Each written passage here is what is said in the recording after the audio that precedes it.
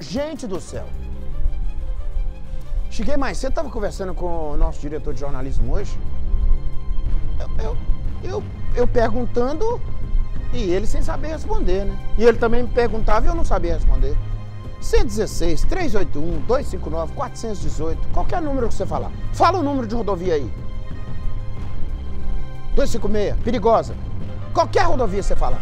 Gente, eu estou impressionado. Terminou o Maio Amarelo, mas as ocorrências de trânsito estão aqui sendo empilhadas no nosso noticiário. Por exemplo, um motorista de 55 anos ele morreu depois de perder o controle de uma carreta na BR-116 em Santa Rita de Minas, aí a BR-116 em foco. Segundo a Polícia Rodoviária Federal, a carreta saiu de uma fábrica na cidade de Ubá. É, Ubá é a região moveleira, né, de Minas Gerais, né? Muitas empresas de indústrias de móveis, né? E seguia para Caratinga, e o Miguel Braz tem informação. É, Miguel, a gente vê ali a condição do tempo, parece aquela serração, mas eu não sei dizer se o motivo é esse. Você que está por dentro dessa ocorrência e vai abrir para a gente o um noticiário aqui falando desse acidente com a carreta em Santa Rita de Minas. Bom dia para você, Miguel. Excelente semana para gente. Oi, Nico. Bom dia para você, bom dia a todos. Uma excelente semana para você, para todos que nos acompanham. Pois bem, já respondendo a sua pergunta, mas de acordo com a Polícia Rodoviária Federal, o acidente foi em uma curva no trecho da BR-116. O motorista teria perdido o controle da direção. Com isso, a carreta tombou na rodovia e ainda arrastou por alguns metros. A vítima foi identificada como Marcos José Cordeiro de Oliveira, de 55 anos.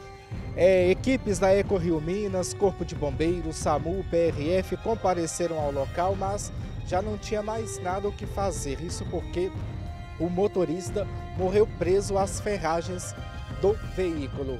Ele foi removido após os bombeiros utilizarem os equipamentos adequados e em seguida encaminhado para o Instituto Médico Legal na cidade de Caratinga. Toda a área foi preservada para os trabalhos das equipes, os trabalhos da Polícia Civil, os trabalhos policiais. E é claro que agora as investigações vão começar vão ser detalhadas e vão apontar o que realmente aconteceu, né? quais foram as circunstâncias que causaram este acidente na cidade de Santa Rita de Minas, bem perto de Caratinga. Como já foi adiantado também, o motorista saiu de Ubá e ia entregar os móveis na cidade de Caratinga. Vale ressaltar também que este trecho onde aconteceu o acidente é um trecho de curva, ali perto de Santa Rita de Minas.